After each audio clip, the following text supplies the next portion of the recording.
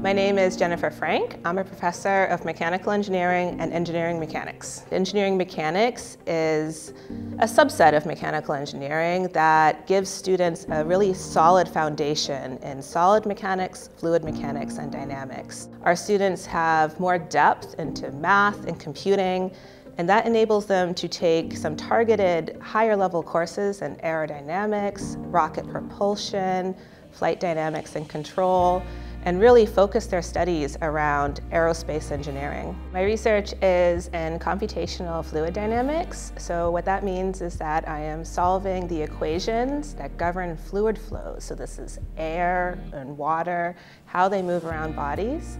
And we use large computational simulations to learn more about the physics of these flows and how those impact engineering systems, such as airplanes, or wind turbines. One of my motivations is to make an impact in the renewable energy sector and looking at future technologies that we can use. We build very high fidelity models of these turbines and wing models that enable us to visualize the flow moving around these structures.